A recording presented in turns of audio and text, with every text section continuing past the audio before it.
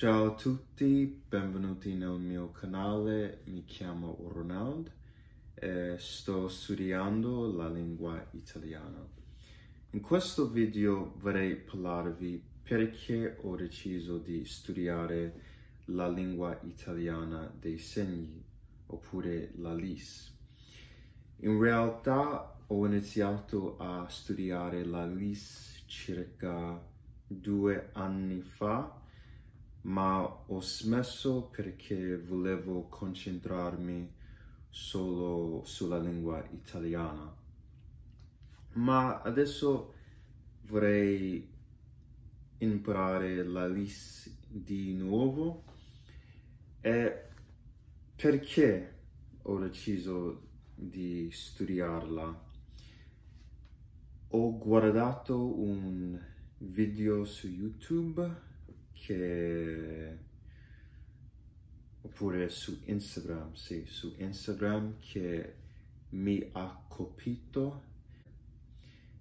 In Italia la lingua italiana dei segni non è una lingua ufficiale, uh, nel senso che non ci sono i diritti per i sordi per esempio nell'ospedale oppure altre cose.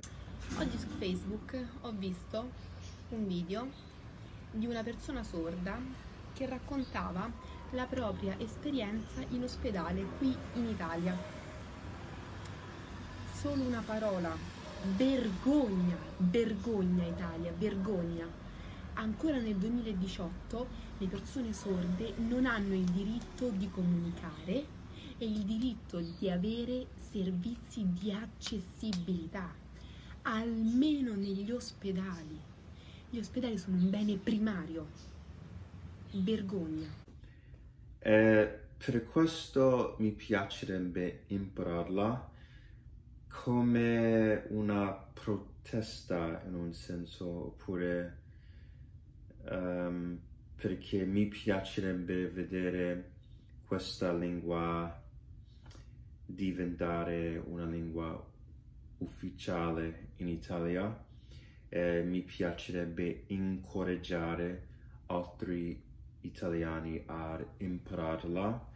E nel video che ho guardato un po' di tempo fa, la ragazza ha detto una cosa che mi ha colpito eh, siamo umani. Siamo umani. Per questo ho deciso di studiare la LIS e mi piacerebbe imparare più cose sulla cultura sorda. E per esempio le frasi oppure i comportamenti che offendono i sordi. Non ho studiato queste cose e mi piacerebbe saperli. E poi mi piace il fatto che imparare la LIS è difficile soprattutto per un americano perché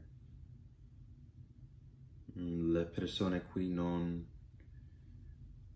non insegnano la LIS, quindi per trovare gli insegnanti è difficile.